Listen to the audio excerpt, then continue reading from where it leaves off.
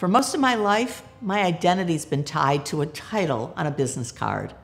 I was proud to be recognized for building and leading some of the most respected brands in skincare. But it was an unexpected bump in the road in 2017 that made me realize that with all the products for healthy, youthful looking skin, there's a major gap in the beauty industry that may lead to accelerated skin aging, the very thing we're trying to prevent.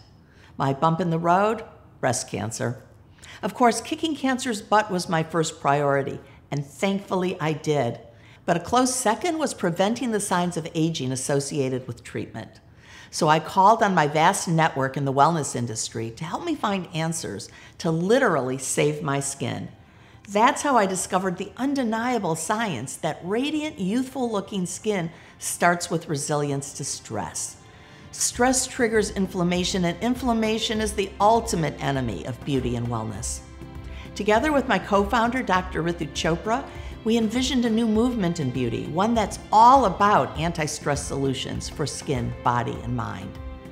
Launching a totally new category is a bold move, but from my experience, I know direct selling is a marketing channel that thrives on new ideas.